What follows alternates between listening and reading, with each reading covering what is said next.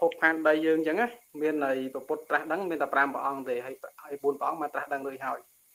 នៅសល់មួយព្រះអង្គទៀតក៏ប៉ុន្តែចឹងនិយាយថាបើនិយាយពីដំណើររបស់ភពផែនដីឥឡូវវាចឹងវាដំណើរទៅរកផ្លូវផ្លូវរលាយផ្លូវក្តៅផ្លូវផ្ទុះអញ្ចឹងគុំចាស់អញ្ចឹងកណាឆ្ងល់ថាបើសិនជាផែនដីហ្នឹងវាវាអាចត្រួតត្រងដល់ហើយព្រះស្អាមេត្រីហើយត្រាស់ដឹងមួយអង្គទៀតបានឬក៏វាដំណើរនឹងវាទៅជាមិនទៅគុំចាស់ ដំណើរនៃភពផែនដីវាវិវត្តទៅការផ្លាស់ប្ដូរទៅវាលឿនគឺគុំចាស់គាត់ឃើញខ្លះរាល់ថ្ងៃហ្នឹងវាការកើនឡើងដោយ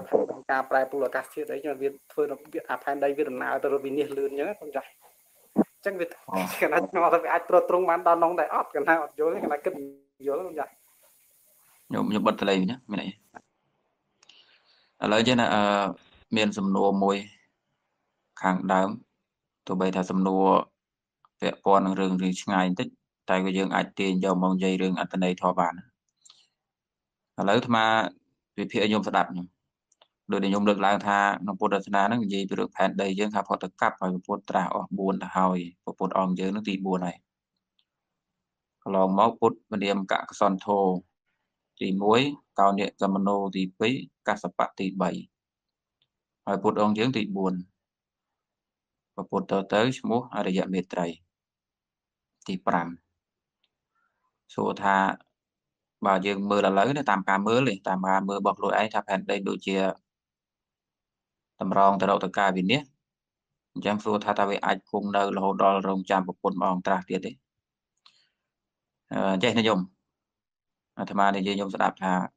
ការបែកធ្លាយការបែកបាក់មួយបែបវាជាការបែកបាក់បែកធ្លាយទៅតាមដំណើរធម្មជាតិរបស់វា មានន័យថាបើទោះបីថាទ្វីបណាជាទ្វីបណាក៏ដោយទោះបីថាទ្វីបនោះអត់មានមនុស្សពួកយើងទៅផ្លាញក៏ដោយក៏វាមានថ្ងៃរបស់វាដែលវាត្រូវបែកដែរខ្ញុំមើលដូចភពព្រះអង្គានឹងមានសត្វណានៅក្នុងប្រព័ន្ធព្រះអាទិត្យយើងនឹងភព6 7 8នឹងមានសត្វណានៅយើងតែចោទថាមនុស្សបំផ្លាញផែនដីបានផែនដីនឹងវាអញ្ចឹងហើយចុះភពខ្លះដែលគ្មានសត្វនៅផងហើយច្រើនទៀតផងអានឹងមិនក៏វាវិនិច្ឆ័យដែរចង់និយាយថាវាត្រូវតែវិនិច្ឆ័យតាម ដំណាក់កាលរបស់វាយើងចាត់ទុកថាដូចជារៀបជាធិនៃរាងកាយអញ្ចឹងទោះបីថាយើងបានឡានបុកដាច់ពាក់កណ្ដាលខ្លួនរស់នៅទៅគង់តែចាស់ងាប់ទេវាទៅតាមពេលវេលាវាអញ្ចឹងប៉ុន្តែអាការបំផ្លាញមួយបែបទៀតគឺការបំផ្លាញដោយសត្វដែលនៅលើភពនឹងនឹងដោយផែនដីយើងហ្នឹងវាមានមនុស្សមានសត្វអញ្ចឹងខ្ញុំមើលទង្វើរបស់ពួកយើងមើលការដែលយើងផ្លាញព្រៃផ្លាញទលេផ្លាញអីជាពិសេសការបង្កើតជាតិពុលទាំងអស់ហ្នឹងនិយាយដោយសរុបមកថាយើងចូលទៅផ្ដាច់ចរន្តធម្មជាតិ ធ្វើឲ្យខ្យល់ធ្វើឲ្យទឹកភ្លៀងធ្វើឲ្យប្រព័ន្ធធ្វើឲ្យទំនាញផែនដីធ្វើឲ្យបរិយាកាសផែនដីវាខូចវាខាតវាដាច់ចរន្តវាទៅ ដែលជាហេតុធ្វើផែនដីរបស់យើងនឹងមើលទៅវានេះលឿនប៉ុន្តែខ្ញុំកុំខ្ញុំកុំភ័យខ្ញុំកុំភ័យថាពួកយើងនឹងសល់ពេលវេលាក្នុងការផ្លាញ់ផែនដីបានយូរខ្ញុំវិភាគមនុស្សសម័យមុនអាយុយ៉ាងតិចណាស់100មកដល់ពេលឥឡូវពួកយើងអាយុប៉ុន្មានហើយយ៉ាងច្រើន75ឆ្នាំនេះភាគរយ មិនមែនថាគ្រប់គ្នាសិត75ឆ្នាំខ្លះក៏លើសខ្លះក៏ខ្វះយ៉ាងប៉ុន្តែយើងអាចរាប់បានថានៅក្នុងសម័យនេះគឺមនុស្សអាយុយ៉ាងច្រើន75ទេកាលសម័យពុទ្ធមនុស្សអាយុខៃ100ឆ្នាំ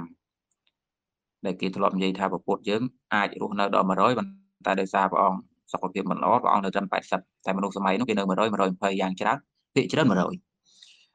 ណាខ្លះក៏160ទៅមានយ៉ាងដែរណា160 140 120មកដល់ពេលឥឡូវបើយើងមានតែ100វាចម្លែកពេកចុះក្នុងបេតកភណ្ឌជាតិហ្នឹងណាគេ120នោះអញ្ចឹងមកដល់ពេលឥឡូវពួកយើង75ឯងខ្ញុំគិតថាមិនពួកយើងនៅតែ75ជុំឈរអញ្ចឹងឯងរហូតកន្លងទៅមួយសតវត្សទៀត100ឆ្នាំកន្លងទៅយើងនៅតែ75អញ្ចឹងឯង200ឆ្នាំមួយសហសវត្សទៀត1000ឆ្នាំទៀតយើងនៅតែ100អញ្ចឹងអត់ទេ ពួកយើងដេញចុះបន្តិចម្ដងបន្តិចម្ដងរហូតដល់ពេលមួយអាយុពួកយើងសល់15ឆ្នាំទេដែលនៅក្នុងពុទ្ធសាសនានោះក៏បានវិភាគទុកមុនដែរថាអាយុកាលរបស់មនុស្សតទៅនោះអាយុត្រឹម15ឆ្នាំទេ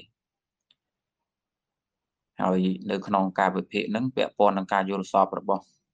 ព្រះរាជាមួយអង្គពនាមប្រសិទ្ធិកោសលសាកសួរប្រកបដេកយល់សពឃើញដើមឈើតូចតូចកពស់ត្រឹមត្រឹមទីកងចេញផ្លែចេញផ្កា គាត់វាឆ្ងល់វាចម្លែកពេកយល់សពហ្នឹងគាត់វាយកសួរព្រះអង្គមកដល់ពុទ្ធហ្នឹងព្រះអង្គក៏ប្រាប់ថាវាគ្មានអន្តរាយភ័យភិតឯណាមកកើតក្នុងសម័យព្រះអង្គហ្នឹងទេមិនតែព្រួយទេមិនពាក់ព័ន្ធផែនដីយើងឥឡូវនេះទេគឺពាក្យថាឥឡូវចង់និយាយសម័យព្រះអង្គគង់នៅវាមិនពាក់ព័ន្ធរឿងអន្តរាយរាជបល្ល័ង្កអីរបស់ព្រះអង្គទេប៉ុន្តែព្រះអង្គជាកទុកថារបស់មនុស្សសម័យតទៅដែលអាយុមនុស្សចេះតែដេញថយទៅថយទៅដោយសាររបបអាហារនឹងវាខូចផង របបខ្យល់នឹងវាខូចផងផែនដីនឹងវាឡើងកម្ដៅដោយសារយើងកាត់ប្រព័ន្ធរបស់វាចេញណាដោយសារការបង្កើតជាតិពុលរបស់មនុស្សចេះល្បិញល្បន់ផ្លាញគ្នានឹងផងជាហេតុស្របស្របមកមនុស្សតទៅអាយុដេញថយនេះគឺពួកយើងនៅគ្រាន់បើទេនេះយ៉ាងវាទៅថយទៅថយទៅដល់លំកាលមួយសល់15ឆ្នាំហើយខ្ញុំសម័យមើលមនុស្សអាយុ15ឆ្នាំតើមានពេលប្រមាណសម្រាប់លេងកីឡានៅកូនក្មេង ហើយពេលណាជាពេលពេញវ័យហើយពេលណាជាពេលរសារៀនសូត្រឥឡូវយើងចែកអាយុឧទាហរណ៍ថាណាគេបើកសលេងខ្ញុំអ្នកចូលបិទសលេងផងខ្ញុំខ្ញុំសេងសេងខ្ញុំខ្ញុំបិទសលេងឲ្យឡង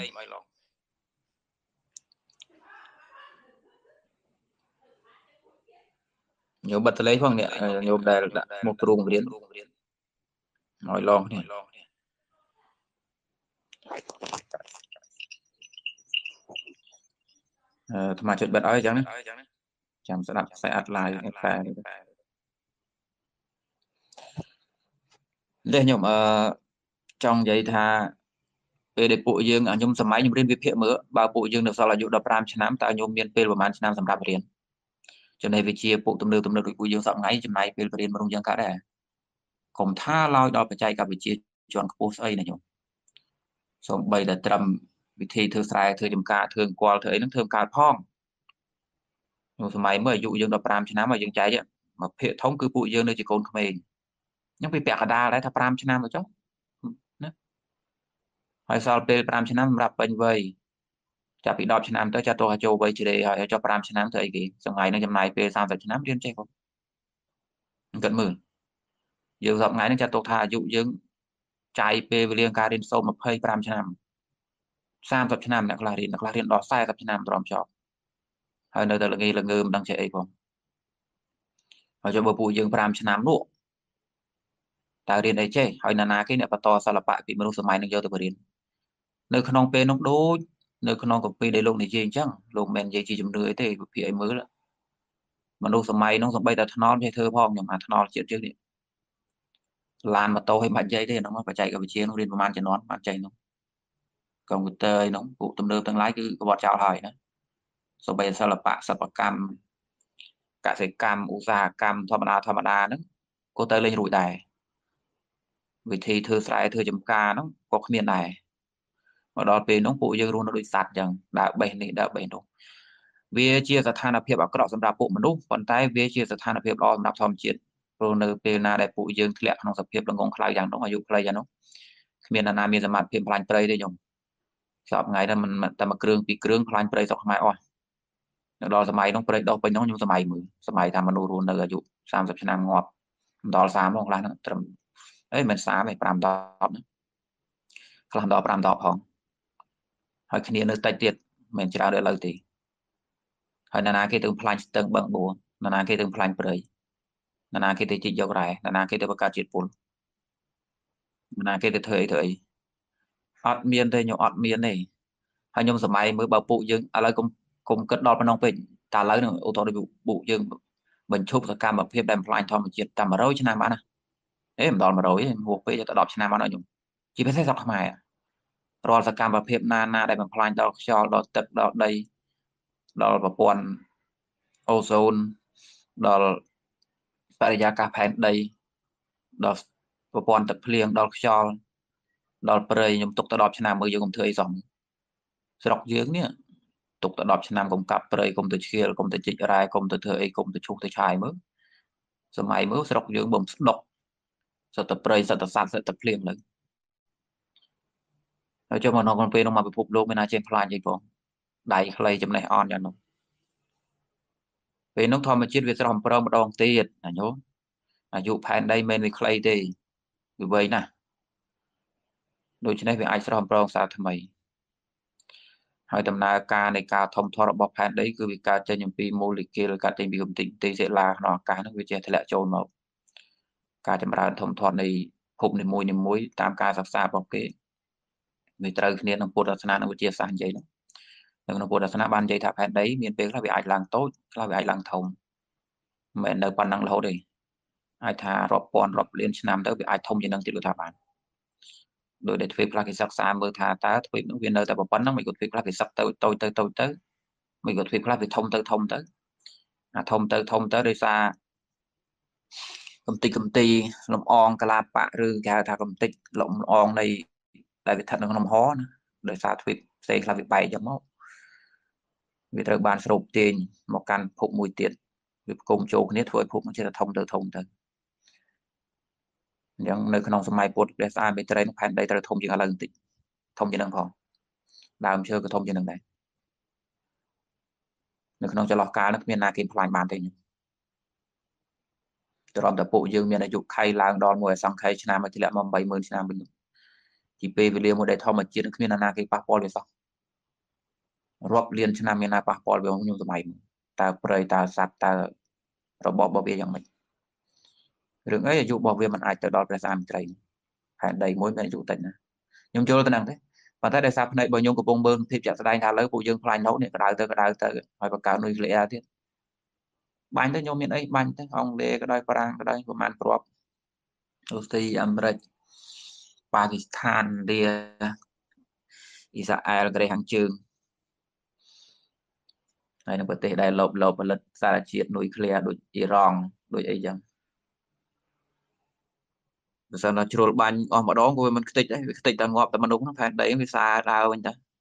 ទុកចោលទៅយូរទៅវាសាដើមវិញខ្ញុំក៏ដែរឃើញបឹងបួរណាមួយដែលយើងឈប់បោះសម្រាមចោលទៅវងយើងចាក់សម្រាមចាក់អីល្អស្អុយប៉ែដល់ពេលមនុស្សងាប់អស់ទៅយើងរត់ចោលកន្លែងហ្នឹងទៅទុកចោលទៅ10ឆ្នាំក្រោយទៅមើលទឹកស្លាប់វិញសម្រាមនឹងដុះស្លែដល់អីទៅធម្មជាអស់លី ផែនដីវាទៅដំណើរហ្នឹងដែរអាមួយវាចាស់ចរិយាដោយពេលវេលារបស់វាមួយទៀតវាចាស់ជារៀបដោយសារពួកយើងចុះពួកយើងទៅជាកូនក្មេងទៅជាកតកតាហើយនោះអាយុ15ឆ្នាំងាប់5ឆ្នាំមានសិល្បៈស្អីមានសមត្ថភាពណាទៅផ្លាញ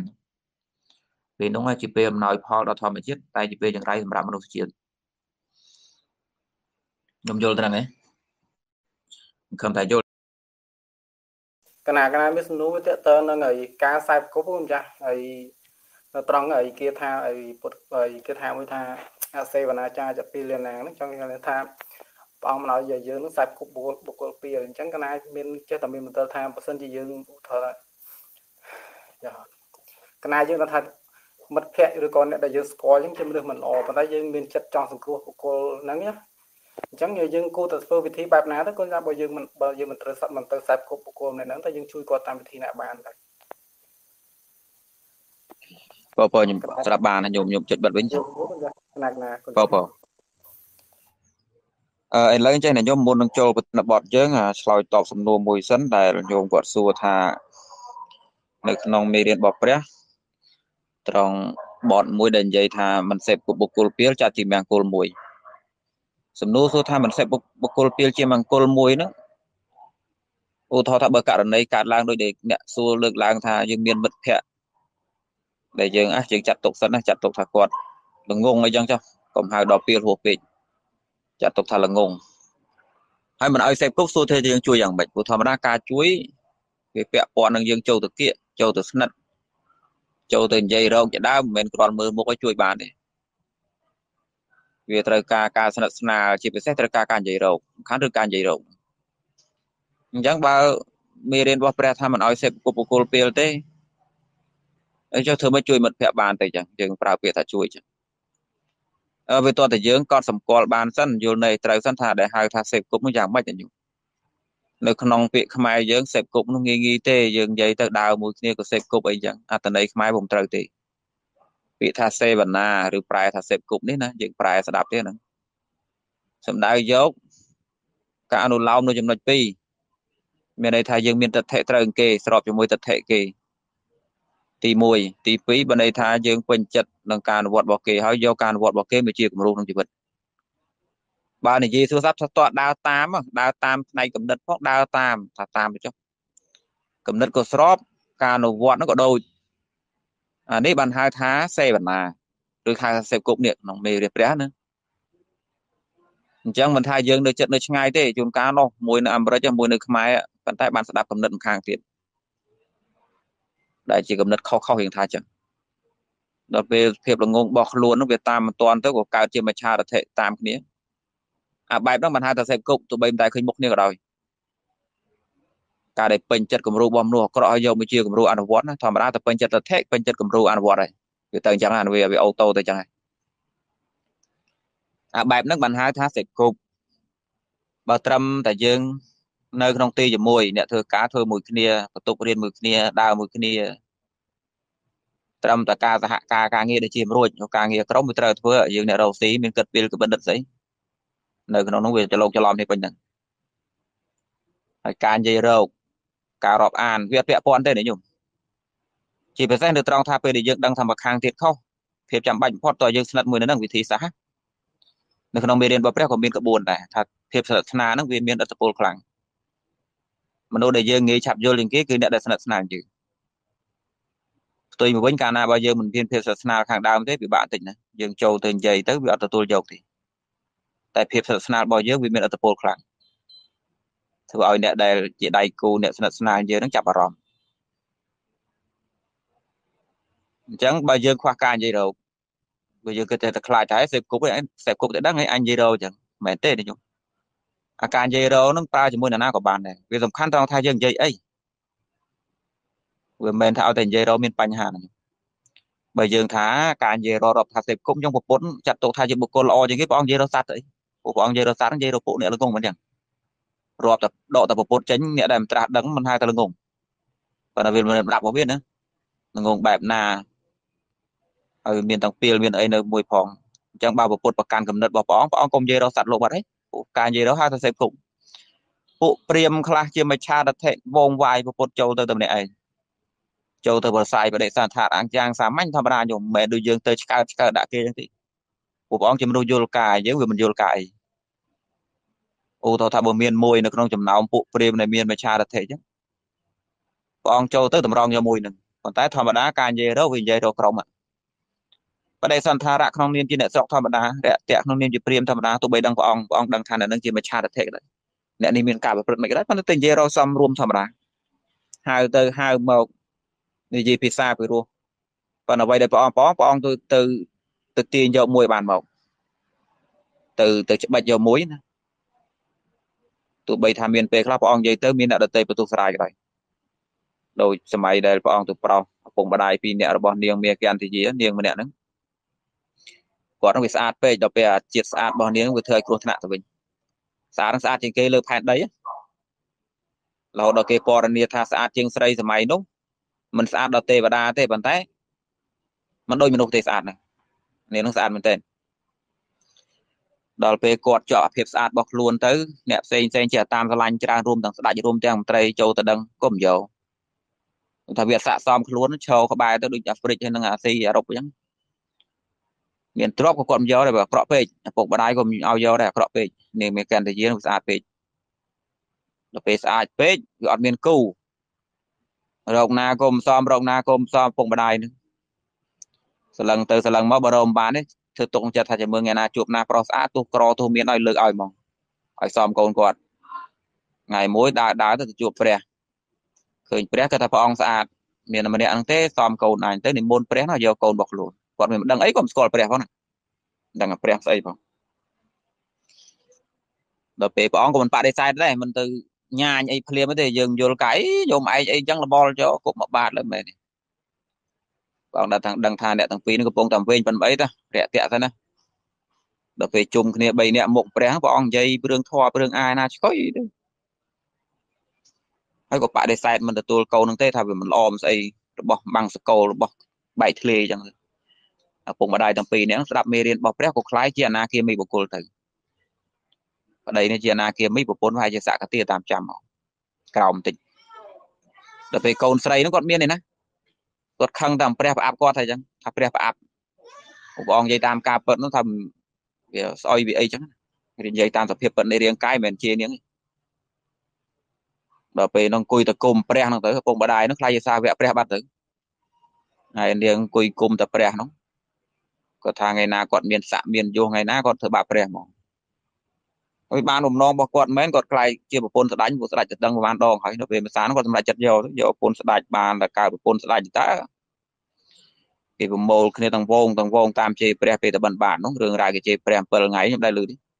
ដែលឮលោកទេសនាស្ដាប់ថាព្រះអនន្តថៃព្រះអង្គឥឡូវនេះគេជេរឥឡូវនោះគេជេរមិននៅទៅអីទេនឹងអ្នកនឹងឯងអ្នកជួលកើតជាប្រពន្ធរបស់ស្ដេចទៅគាត់ខឹងចិត្តគាត់នឹករឿងឃើញរឿងចាស់នោះណាថាព្រះប្រមាថគាត់អីចឹងទៅថាស្អាតអីចង់យកជើងប៉ះផងទៅជួលអ្នកផឹកស្រាអ្នកផឹកខ្ញុំមិនសូវដឹងអីទេផឹកបែបដូចផឹកអ្នកផឹកបែបវត្តទេ ព្រះត្រាស់ឬមិនត្រាស់មិនដឹងឯនៅតែផឹកគេជួលឲ្យលុយអីចឹងទៅក៏ជេរព្រះហ្នឹងទៅមួយអាទិត្យជាជេរប្រទេសប្រដាស់ទៅណាអឺខ្ញុំគិតមើលក្នុងចំណោមចំណោមទាំងដែលព្រះអង្គដឹងច្បាស់ជាមុនថាមានមានអ្នកមិនជ្រះថ្លាត្រូវបន្ទោសស្រែងព្រះព្រះអង្គមិនរវល់ពូត្រូវទៅច្បាច់យកអ្នកទាំងពីរហ្នឹងដូចគ្នាចូលទៅក្នុងចំណោមចំណោមទេវតាខ្លះមានពួកមាមច្ឆារថិមកណោចូលទៅក្នុងសំណាក់សមណៈព្រាមខ្លះក៏មានអ្នកមច្ឆារថិប៉ុន្តែព្រះអង្គទៅជាងាយចងាដូចយើងឯង តែវាជ្រុលនិយមថាអីអញដឹងអញឃើញថាដានឯងមិនល្អទេកុំនិយាយរកអញថោកទៀតអីចឹងចេញឆ្ងាយមែនទេពួកយើងទៅក្នុងបំណងណាយើងធ្វើបំណងឲ្យសម្រេច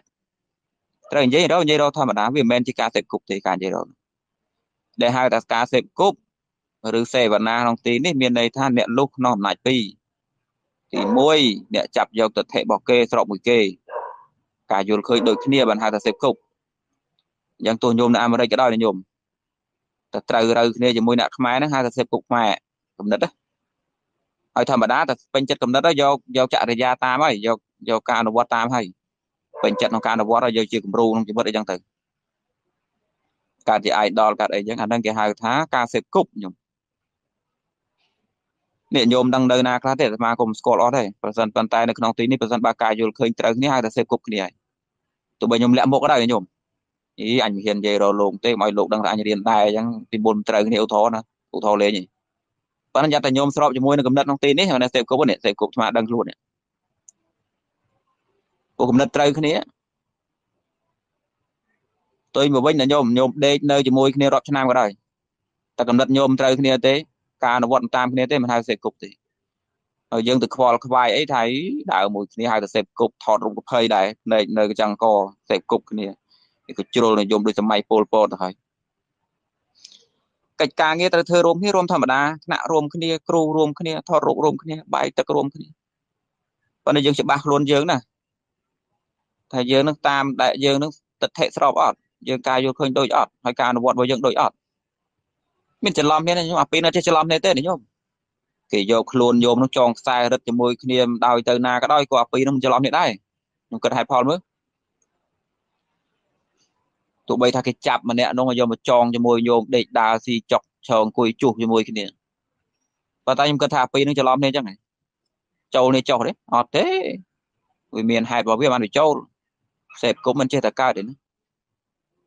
គ្រាន់តែថានៅក្នុងន័យសង្គមគេតែងពោលទោសថាបើយើងមិនតាមផ្នែកគំនិតក៏ដោយមិនយកការអនុវត្តតាមក៏ដោយតែការដើរហើរជាមួយនោះគេតែងតែនាំរឿងមកជាមួយ ដូចជាពាក្យខ្មែរយើងថាដើរជាមួយអ្នកអញ្ចឹងទៅហើយនោះក៏មានឈ្មោះថាប្រឡាក់តែការពិតវាប្រឡាក់ទេតោះនេះខ្ញុំវាមិនប្រឡាក់ស្អីទេតថេណាប្រឡាក់ងាយងាយខ្ញុំប្រដើរជាមួយងាយទេងាយតថេត្រូវគ្នាព្រោះត្រឹមតដើរជាមួយថតរូបជាមួយទេក៏ភ័យណាស់នោះពេកទៅវិញការដែលយើងមិនយល់ការចេះតែចែកឋានចែកភពវាទៅយូរទៅនិយាយនេះលេងកើតអីមិនកើតទេខាងនោះតើខាងនេះតើទីបំផុតមានរឿងកដាលមួយត្រូវការនិយាយយេបាន វាទៅយ៉ាងបាត់ទៅអាការប្រកាន់ពេកដូចលោកអញ្ចឹងខ្ញុំឧទាហរណ៍បើលោកគិតរឿងនឹងដែរចុះគេនិមន្តទៅទេសនាធម្មតាទៅយើងទៅទេសនាកន្លែងណាក៏មានអ្នកល្អអ្នកអាក្រក់នៅនោះដែរគិតមិនឥឡូវលោកបាក់ណាក៏មុនទៅទេសនាគិតមិនឧទាហរណ៍បើយើងក្នុងភ្នែកយើងថាបាក់គេខអញ្ចឹងឧទាហរណ៍ខ្មែរយើងចែកបាក់ច្រើនណាបាក់ពីលឧទាហរណ៍យ៉ាងថាអញ្ចឹងណាហើយចូលលោកគាត់មិនទៅចង់មុនទៅទេសនាក៏ណាក៏ទៅ វាចាំបាច់ទេនៅត្រង់ថាតើយើងទៅនឹងចេញជាប្រយោជន៍អត់យើងទៅច្បាច់បានជាប្រយោជន៍អត់មិនថាអាណានិមន្តយើងទៅនិយាយទេឧទាហរណ៍ថាអ្នកសម្ភាសយើងជាបុគ្គលខូចទៅចុះប៉ុន្តែយើងនេះដឹងខ្លួនដែរថាឯងជាស្អីមិនក៏ទៅនិយាយចូលជើងអ្នកខូចកើតបើទៅល្ងងដល់ថ្នាក់នោះពេកមិនទៅបញ្យល់គេយ៉ាងកុំឲ្យគេខ្ចីដៃបានណាកុំឲ្យគេប្រហែលត្រឹមតែគេសម្ភាសត្រឹមតែហៅទៅនិមន្តសោះឯងទៅទៅជាពីលមួយគេណាមកផ្លែតមែនទេ យើងដឹងទូនីតិរបស់យើងយើងដឹងកំណត់របស់យើងច្បាស់ថាយើងបញ្ចូលកើតទៅយ៉ាងខ្ញុំកំណត់ការសេពគប់ឲ្យត្រូវទៅលេងខ្លាចហើយការសេពគប់គឺយ៉ាងឯងមិនមែនគ្រាន់តែឈរនិយាយជាមួយរៀនថ្នាក់ជាមួយក្រុមជាមួយទៅពយល់ហៅថាសេពគប់ដែរមែនទេបើយើងប្រកាន់មមត្រង់ចំណុចហ្នឹងពេកទៅវាទៅជាខូចការទៅវិញទេពេលខ្លះ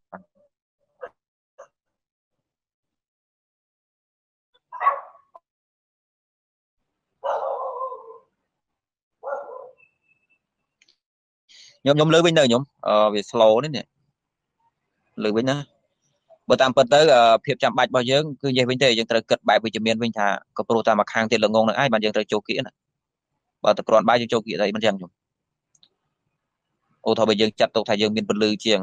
ទូនីតិបើអ្នកមានពលឺជាងក្រែងចូលទៅកាន់កន្លែងងឹតទេពួកឯងភ្លឺឲ្យទៅរកភ្លឺទៀតខ្ញុំទៅអីខ្ញុំមានខាតពេលមែនទេឧទាហរណ៍ណាឧទាហរណ៍ថាបើយើងទុកថាយើងជាបុគ្គលមានពលឺ